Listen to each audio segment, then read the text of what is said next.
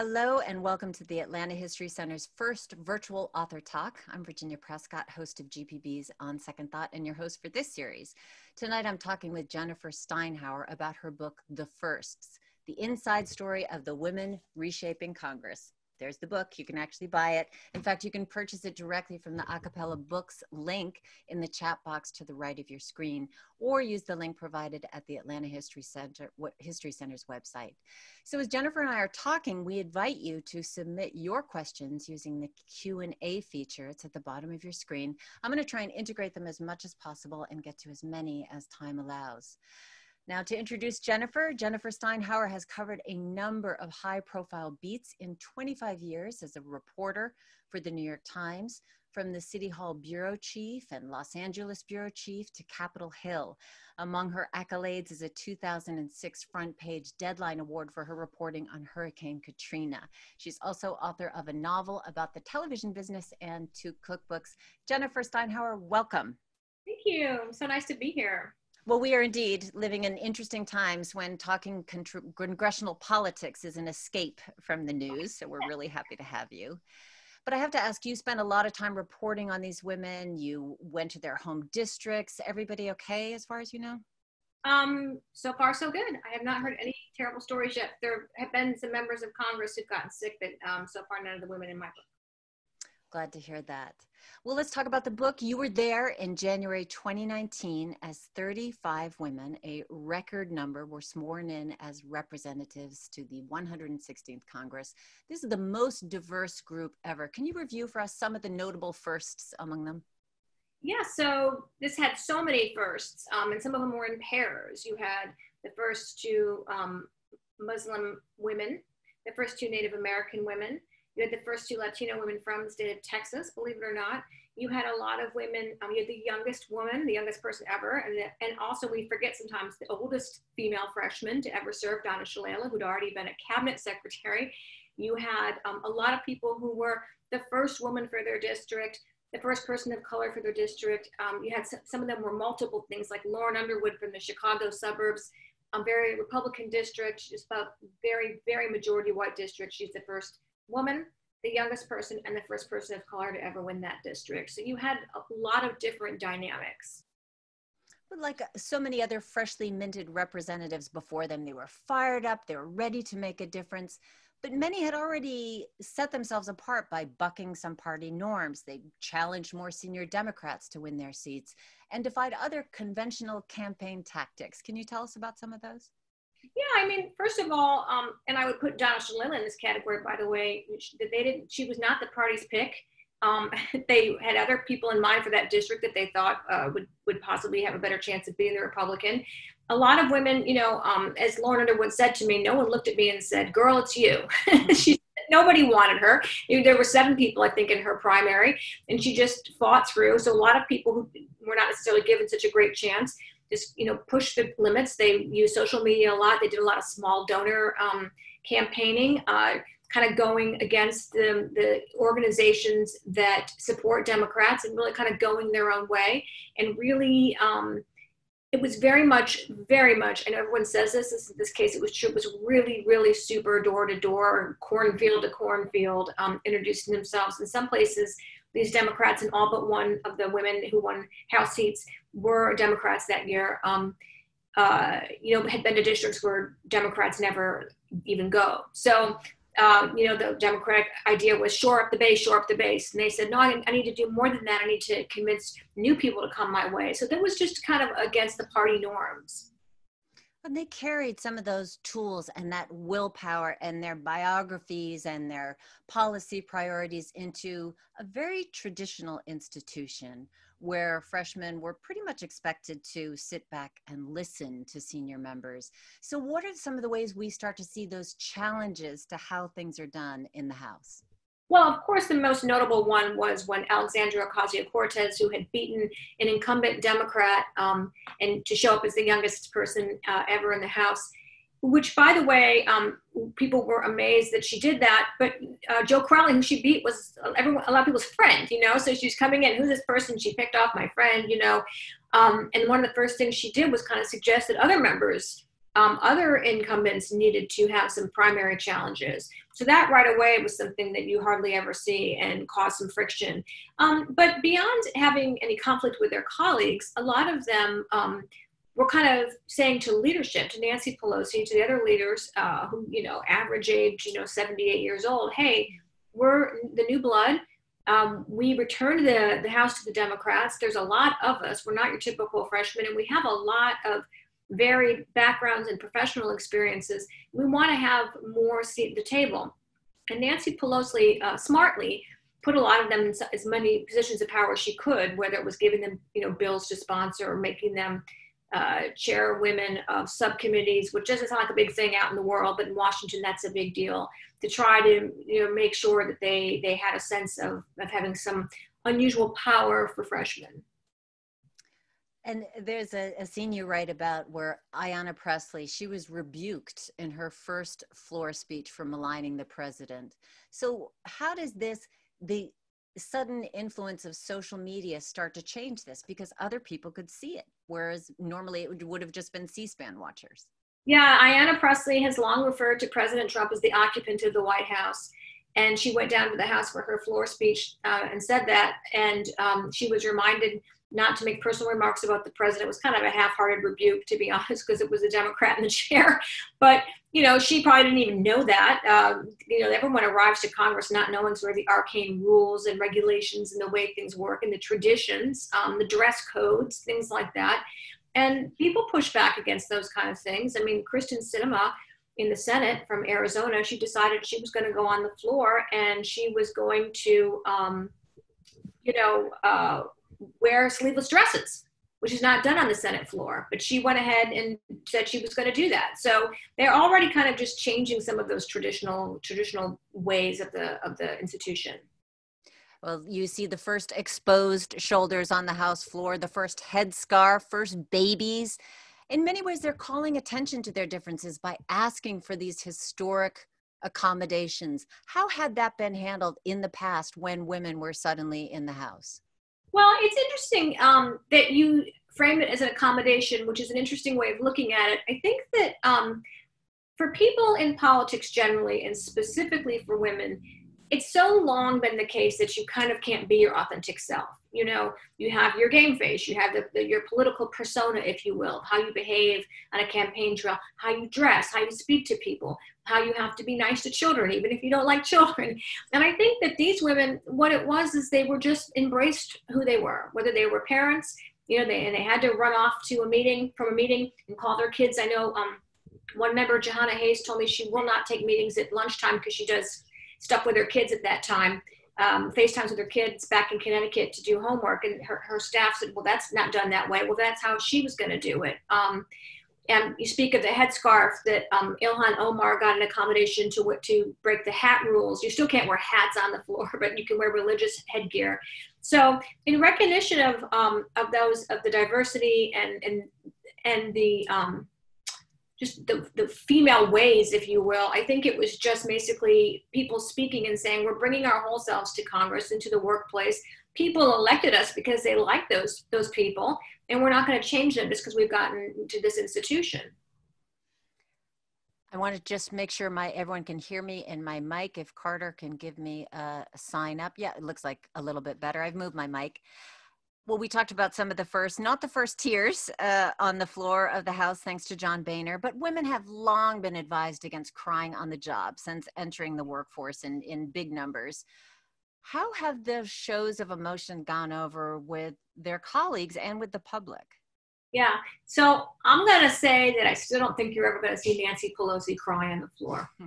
And there have been some intense moments, you know, and even even with deaths of colleagues and things like that that's not the way she rolls. That's not how she kind of came through the system. She has a different um, background and reaction to things. Um, I think about, I saw a lot of crying in this Congress. Um, I think a lot about Rashida Tlaib from Detroit, a very fiery, kind of emotional person. I saw her cry a lot. I saw women, I saw um, a floor speech where a woman talked about her partner's suicide um, early on in the Congress and was crying. I saw Katie Porter, whose um, domestic violence past came up against her wishes during her campaign, but then she would go on to talk about the Violence Against Women Act and become choked up talking about how she almost had her kids taken away from her.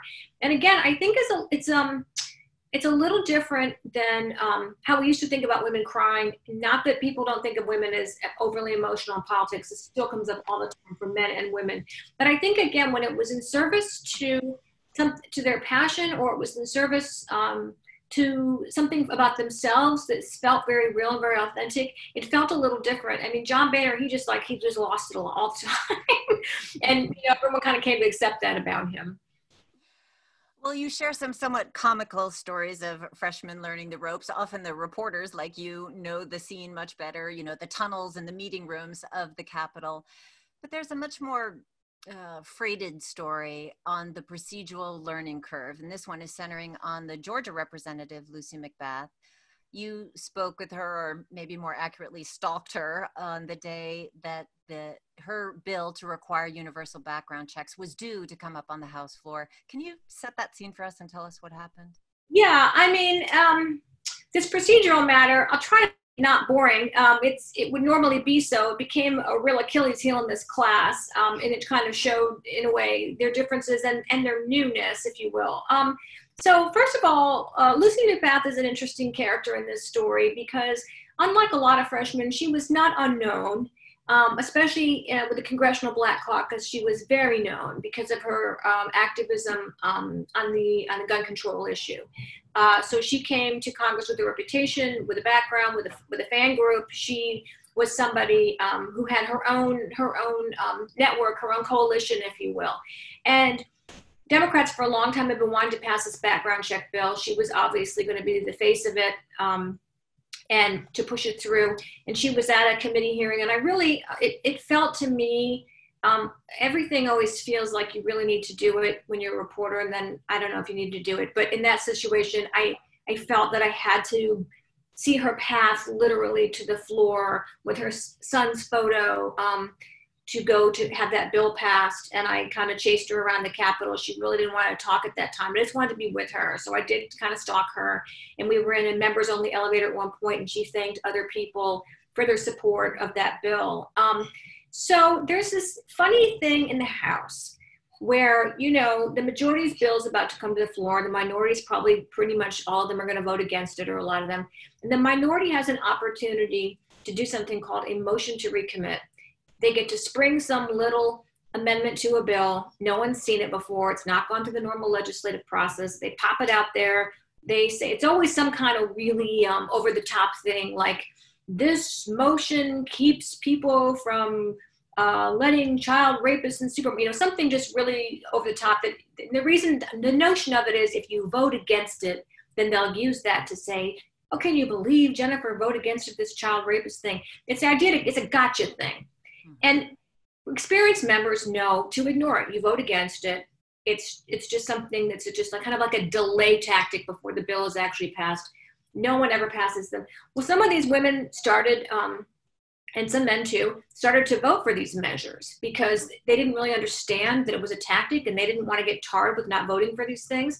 And there was um, an amendment that was attached to that that had to do with ICE, um, and which was very in, gun ownership and, and, and immigrants illegal immigrants. And on paper, it sounded, you know, kind of a reasonable thing, but it was really just to kind of, you know, just to stick it to the Democrats. And at that time, we, it was emerging the whole issue of child separation, the child separation policy from families. Immigration was becoming an extremely heated issue as it, you know, kind of ebbs and flows through Congress. It was a hot time on that. And you had especially the Progressive Caucus get very upset because that measure passed with the help of Democrats. Mm-hmm. And then they were stuck sort of having to wonder if they were going to vote for Lucy McBath's bill and therefore have that go along with it. It was kind of irrelevant because the Senate was never going to take up her bill anyway. It's controlled by Republicans. They were never going to take up the background check bill. But it became a real emotional moment on the floor where the progressives yelling at the moderates, the moderates saying, well, we agreed with that piece of thing. And it, you know, everyone walked off the floor and Lucy McBath was greeted by all the gun safety folks and they were so happy and she was happy and she felt like it was her day, but it was her day with an asterisk. Mm-hmm. And there were a lot of battles on the floor last year. Well, so this is one of the tactics that obviously they weren't prepared for, but there was a bit of a reprimand. I think you write about uh, from uh, Speaker Pelosi. You know, you got to hang together. If you have power, you have to you have to keep it. Right. And this is this is one of the things the wedges between progressives and moderates that you saw in that case. But this has been the driving story of the 2020 Democratic primary, presidential primary. Just today, Elizabeth Warren became the latest former candidate to endorse Joe Biden for president. Biden now presumptive nominee after progressive Bernie Sanders out. So, what does this tension mean for the dynamics in the House and with the firsts? So, with the Democrats who beat Democratic incumbents and who are the more progressive wing, I, you know, obviously led by AOC. I mean, she was Bernie Sanders' biggest surrogate. To me, with him exiting the stage, in my mind, she is the leader of the progressive wing of the party um, and its future. And um, they gave life to the progressives that were already in the House that were kind of on the margins, right? And then you had all these um, so-called moderates, and I, I, always like to use that word loosely because Lucy McBath it probably many people would not call her a moderate, but she is vis-a-vis a lot of people that are in that that section of the party. You know, it just depends on where you live and what, what it means to be moderate. But just for the sake of this conversation, they're people who beat Republicans. Mm-hmm. And they understand that their district isn't made up primarily of Democrats or majority of Democrats. Um, and so they want to stay in keeping your power, they want to stay in office too. And so this tension was always between do you move the party to the left um, and and make that be the sort of the party that everyone kind of base sort of dreams of? Or do you stick more to the middle and make sure that people who beat republicans can uh, hew there and and stay and get uh, reelected? It's just the way people running for the white house want to be able to pull in independents republicans the first time you know trump voters. They need a broad coalition you need a broad coalition to win elections and when you're on the far left or the far right of your party, it's hard to bring in a big a big coalition to win. And that's look that the Republicans had their own battle with that. Um, with the Tea Party wave in, in 2010 when they took over the House, they had the same internal battle. And we see where they are.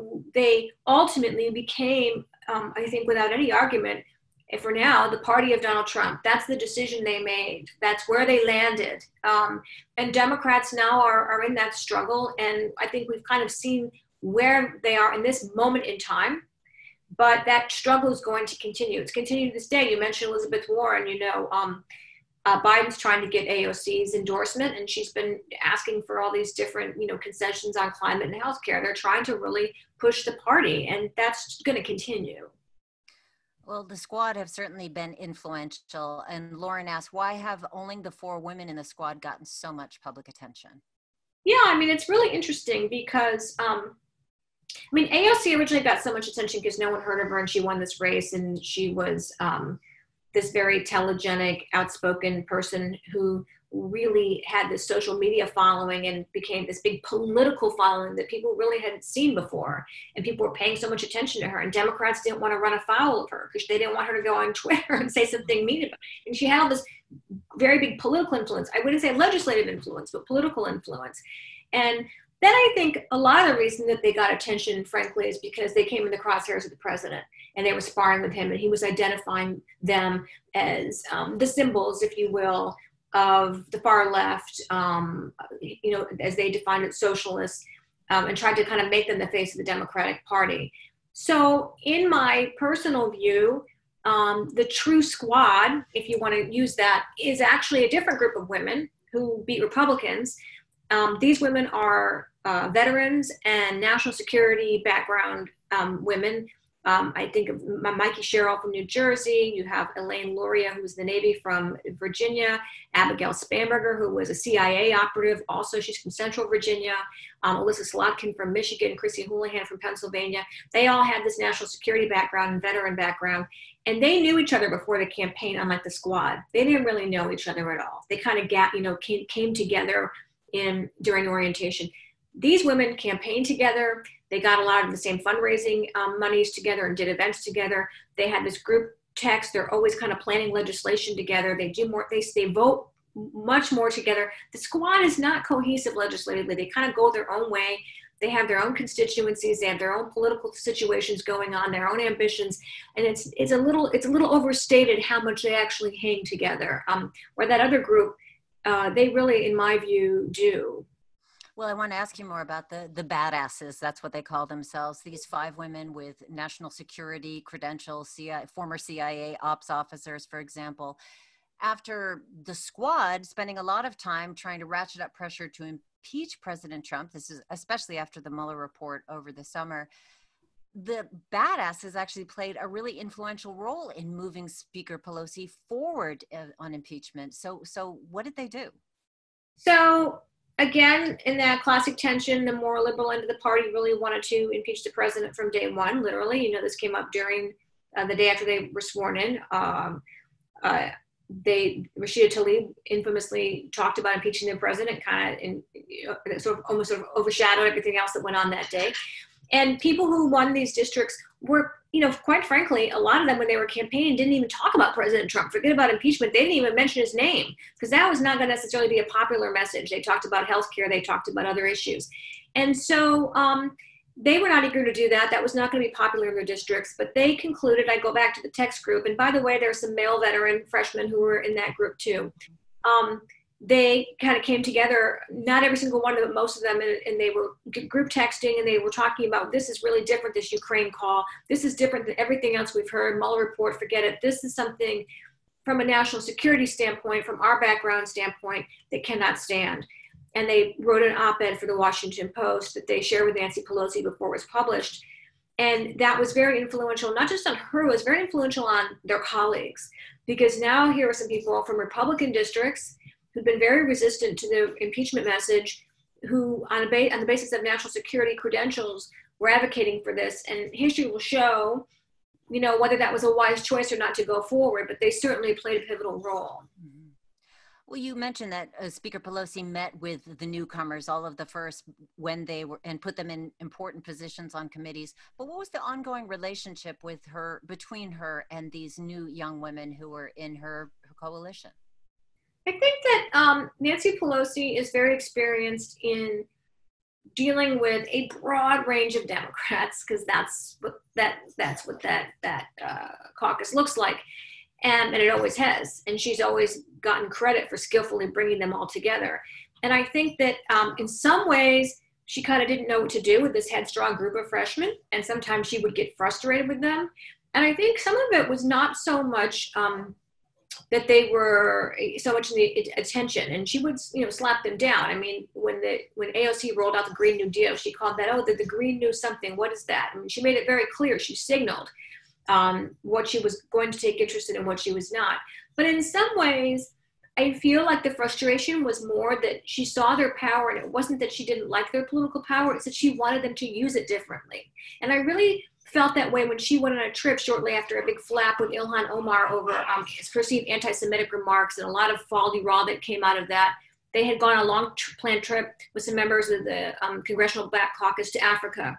And I noticed that Nancy Pelosi made sure photos came out of them sitting together, and we all knew they were on a plane together and standing together. And I think she was trying to signal to Ilhan Omar and others this is how you use your power and this is how you influence people and this is how you you you build a, a, broader coalition. And don't isolate. Don't go outside. Stay inside the tent. And i did notice that aoc barely has endorsed any challengers um, to the left of her colleagues this cycle. And i thought i, I think that's i note that with interest Mm-hmm. Yeah, that is interesting. You know, Democrats, of course, banking on the future of the party as as a multicultural coalition of getting black and brown and working class voters all in under their tent. This has been reinforced, of course, in the rhetoric and policy pushes from the squad and others. But you point out that some of those, like AOC, the superstar, won in whiter and richer parts of her district. And since the book, we've seen routing of a number of Justice Democrats, as they're called in primaries, suggesting that voters may not agree. So I'm wondering what the message is there from voters. Well, I mean, I think the message was given pretty loud and clear with the, um, at the time, somewhat surprising and then absolutely um, definitive routing that Joe Biden did. I mean, uh, you there are individual districts that are very democratic Um, and and by the way, you know, uh, demographics drive this too. Youth a lot, and perhaps that's the future of the party um, to be pretty far to the left. But I think that we're seeing where the broadest coalition of the party is now, whether it's older voters, older, especially older African American voters who are the ba- huge part of the base, we see that um, that message is not uh, is not as popular as the so-called more modern message. But you know, I always like to say this, and I say this to, to kids a lot who are really um, on the left who are very frustrated, and they laugh at me. But I mean it. I say every single Democrat who was on that stage in the beginning, and I would include Joe Biden in this pretty much, are to the left of Barack Obama. Mm-hmm. And the idea, everybody um, on the left wants Medicare for all. I get it, and they think that um, single payer is like this, this squish position. Well, that was um, considered very far left when I first got to Washington, and people lost their seats over that. So people kind of forget sometimes the party's policy objectives um, have moved quite a bit to the left in many ways over the last decade, but they're not necessarily where AOC is as a, broadly as a party in our country. Let's talk about where they are. Uh, although AOC others getting a lot of attention, uh, you pointed out earlier her record on measures in Congress may not be great. I think in the book you say it may be even inverse of her numbers on social media. But she and Katie Porter and others have emerged as extremely effective in House committee hearings. But what is the actual legislative record of the first on healthcare and economic inequality, climate change, some of the things that they ran on? Well, you know, of course, it's always hard to measure legislative success in divided government because a lot of the really big ticket stuff doesn't get even taken up by the Senate um, when you have divided government, in, this case, Republican control. But you know, Democrats, these Democrats, I look at, I went to talk to you about Lauren Underwood. She was um, a nurse and she's been very focused on healthcare. She ran her whole campaign on that. And I think she got a lot of um, amendments and, and, bills, for example, passed um, in, in, the House. Um, Katie Porter has also been very effective. I talk about I like talk about Deb Haaland. You know, we don't talk as much about the two Native American women, and they're quite different from each other. They're a different uh, age cohort. They're different districts. Deb Haaland's a pretty liberal district in New Mexico. Sharice Davids beat a Republican, and a, it's been a historically Republican district in Kansas City. Uh, Kansas was the suburbs there, and but they've been very effective in doing legislation that benefits Native American women, especially Deb Haaland. That's been a real focus of hers.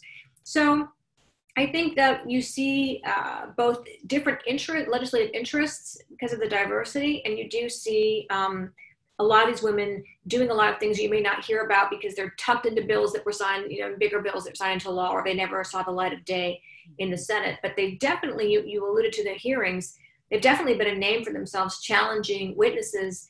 Um, Katie Porter, especially with, as, a, as a law professor, I mean, she just makes mincemeat out of people on a pretty weekly basis. I was actually reading in McSweeney's, they did an article as if they were Katie Porter's whiteboard, you know, going in to slay the next person, yeah. which was quite funny. But people like Katie Porter, largely conservative district, quite a name for herself in the House with her whiteboard. Um, yeah. Abigail Spanberger. These are these are people who women who likely benefited from waning support for Trump in the suburbs or in general, and picked off seats by moderates and Republicans. What about the prospects for 2020? Is this a response to the Trump election, which motivated many of them, and will that last? Like you mentioned, the Tea Party earlier. Yeah, I mean, it's really interesting. I get asked this a lot, of course. Um, and I always say it's hard to imagine that every uh, person who won a seat in the in the House, men and women, will be back um, in 2020 because some of them won some really tough districts. Um, but you know, 2018 was two things. It was a bit of a referendum on Trump again, especially with women in the suburbs, and it was really, really a referendum on House Republicans and their attempts to undo the Affordable Care Act. That was just an unpopular thing to do. Um, once people had, you know, people didn't like that bill a lot across the country in theory, but once they had it, once they had that insurance, it's hard to take it away from people. Um, and that was very unpopular, and a lot of them ran exclusively on that. And we're kind of gearing up to talk about healthcare and drug pricing and things this go around. I think now with the with the COVID nineteen um, situation, no matter where we are in November, that completely colors the entire race, but in the same framework. It's a, it's going to further expose issues about our healthcare system. Um, I mean, you wait and see what happens to these hospitals, these medical practices, and people getting their big ventilator bills and all these things. We're going to start to see our healthcare system respond. Uh, right now, we're in the emergency response. We're going to see the bigger long term uh, implications for our, individual health and for the health of our system. And Donald Trump's response to that will continue to be uh, framing him politically. Um, you know, as a referendum on him. So it's really, it's just a continuation on this just very extreme scale of those themes. Well, of course, all of these women were present. The first were present in the bipartisan passage of stimulus and relief bills. Uh, Katie Porter, again, uh, the congressional hearing in early March, she got commitments from officials and the head of the CDC to pay for COVID 19 testing for Americans, regardless of insurance. So has really emerged as a voice. But he, she also said to you, Congress is not made for people like me. Um, and you go through a day in the life of Katie Porter. It is really challenging, especially for someone on the West Coast. This is a mother, single mother of three kids. How does she manage? And how do others manage? Well, she manages with some difficulty. I think she's like on the phone a lot in the grocery store. Um, and she has a Manny, as she says, back home in California, who's kind of running things. And she's also, that's not even a one airplane trip because she's in Orange County. So it's difficult to get to. Um, time difference, obviously, is a challenge for her, all of that. And um, you know, when you go back home, we know the term recess, and everyone kind of assumes people go back to their district when Congress is in session and get a pedicure or something. It's not how it is. I mean, you're running from one thing to the next when you're back home. You're running all the time when you're in Congress. These are hard jobs, and your time is not your own. And that's doubly hard with people, um, as all working parents know, with kids at home and um, she's just kind of she just didn't know she could make it work i mean when she was going to run she said how am i going to pull this off and she probably still wonders how she's going to pull it off but she seems to be pulling it off. Well 2018 was not a banner year for republican women who actually lost 10 seats if i'm remembering correctly. But it's not just this year but as you look over the last decade some structural challenges for republican women. Why is so difficult for them to get momentum? Well, they struggle a lot in primaries. That's their biggest problem. Because when women get through primaries, they win uh, in any party at the same rate as men. And Republican women have a hard time getting through primaries. Um, it, it's, you know, this isn't the history of the party. Uh, the first Republican woman, Jeannette Rankin, um, who won, you know, two years before we even had the federal right to vote, was a Republican.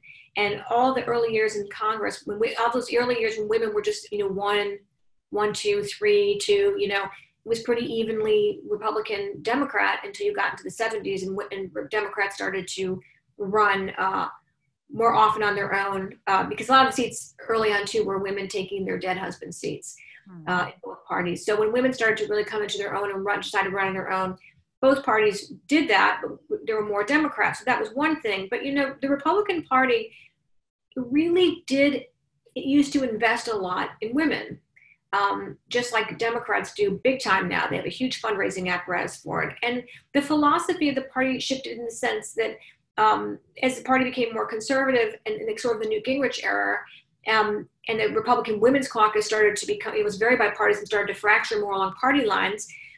Uh, the party kind of made the decision that you know, we, we don't we don't do gender or or um, any other kind of preference. It's all about the best person, the best person.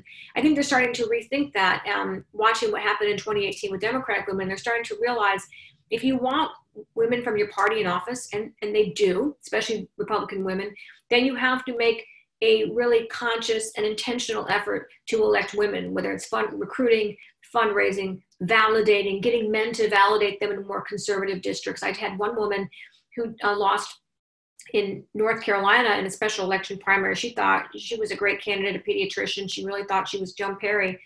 Everyone thought she was just going to be uh, had it made. And she told me later that she was shocked to see polls that said basically men and women over 50 didn't want to vote uh, in, in Republican primary, didn't want to vote for women. And she said, I said, how do you think you could have done better with that? And she said, I would have been helpful if I had more men campaign with me.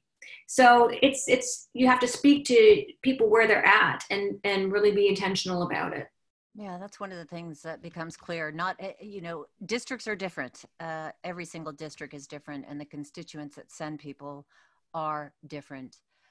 But there's this, you know, wave of women getting elected in the House and the Senate, yet one major candidate in this historic field of nine female candidates for president made it much past Super Tuesday, two, if you count Tulsi Gabbard.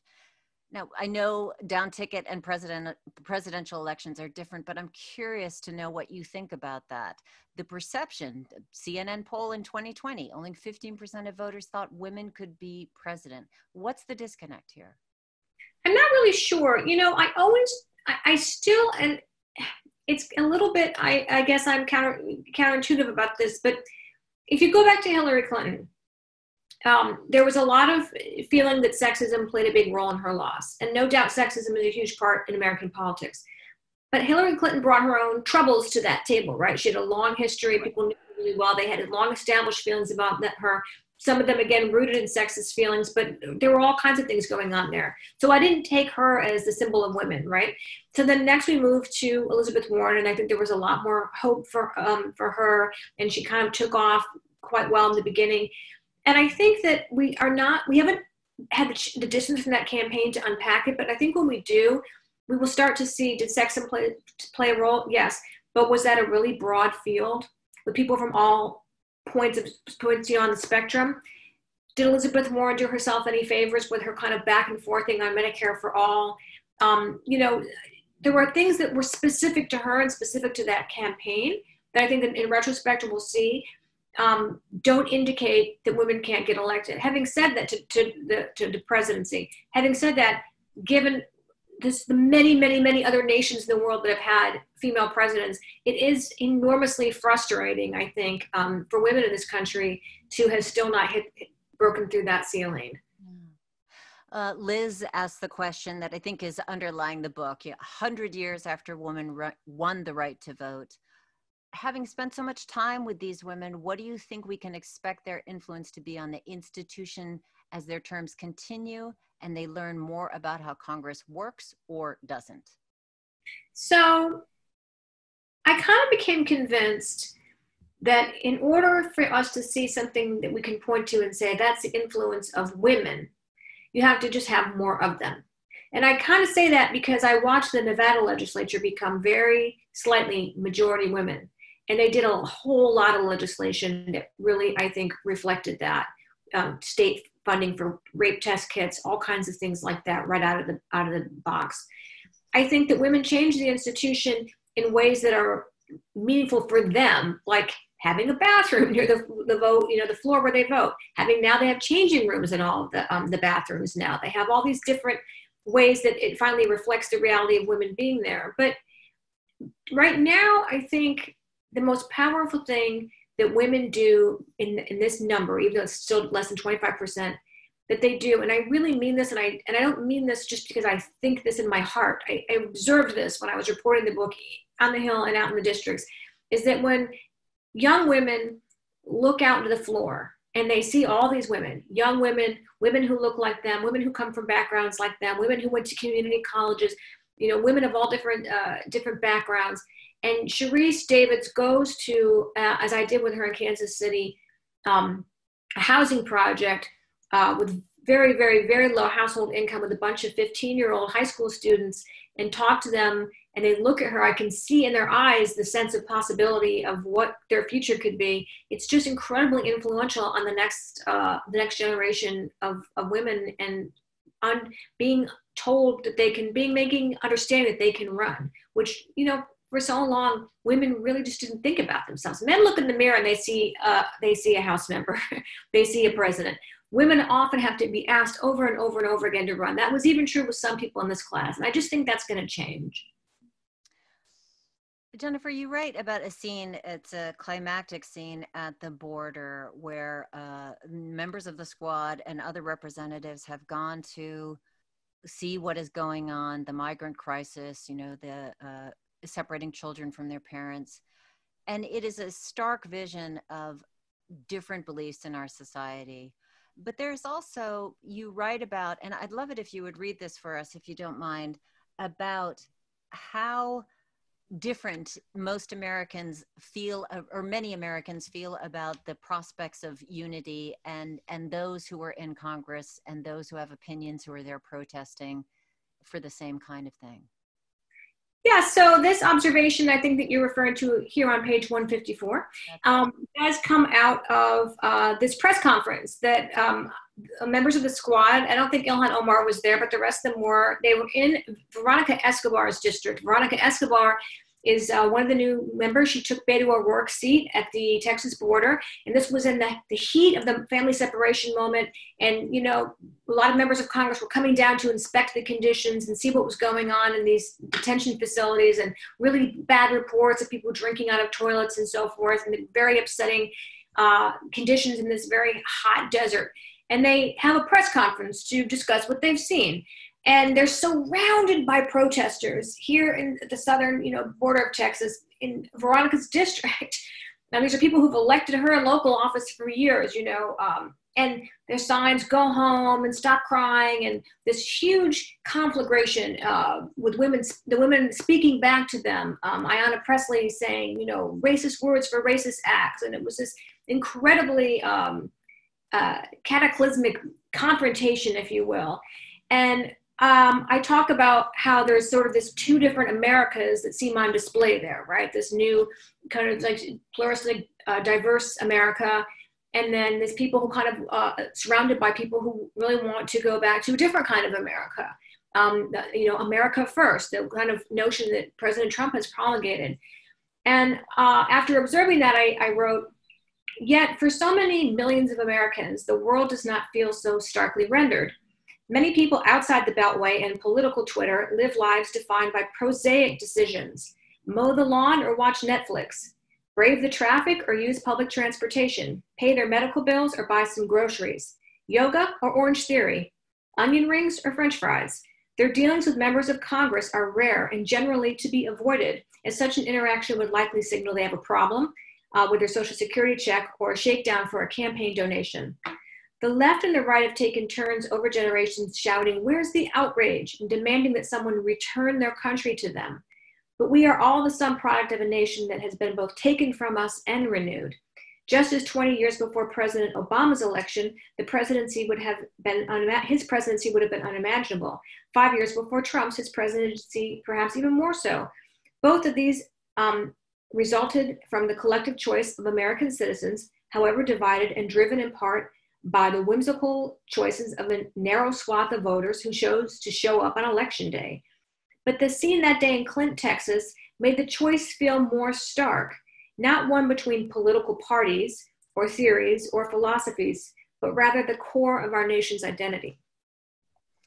Jennifer Steinhauer there reading from the first, the inside story of the women reshaping Congress. Want to invite you, if you have any questions, to enter it in the Q&A feature on your screen.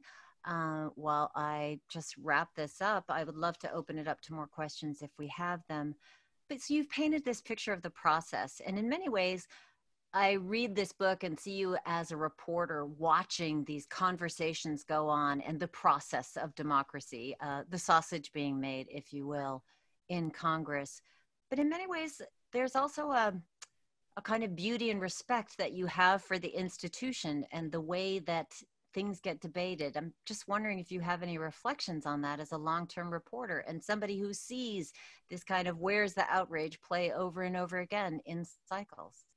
Well, it's funny you say sausage because I think you'll you see there's a scene in my book where Nancy Pelosi's kind of getting mad at her caucus and saying, you know, you got to come together. You got to get it together here. You know, you, a lot of you people came here to make foie gras, but most of the days we're just making sausage. And I thought that was obviously very um, um, apt analogy. Yeah, I um, uh, I believe um, in in the legislative process. I believe in the, in having you know, separate branches of government. I believe that's important. I believe that's important for our democracy, and we focus so much in Washington and the country on the White House but you know the congress is kind of you know that's the the yay or nay spot of of policy um, prescriptive policy in our country in, in any direction. Um, and that process comes together in a way that you don't see on cable and you don't see on twitter and you don't see um, in political ads which is through not very sexy not very uh, uh, um, exciting